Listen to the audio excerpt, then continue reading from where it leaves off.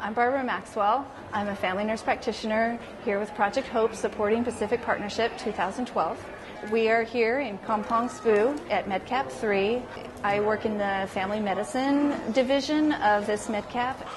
A family nurse practitioner provides a wide range of services for all ages. We see chronic and acute problems and, uh, and mostly minor medical problems. I feel like this has been a success because the patients I've seen uh, leave happy, they leave satisfied, they leave with information about their disease, they leave with information about how to take care of themselves, and sometimes they will leave with information about where to go next as far as taking care of their health.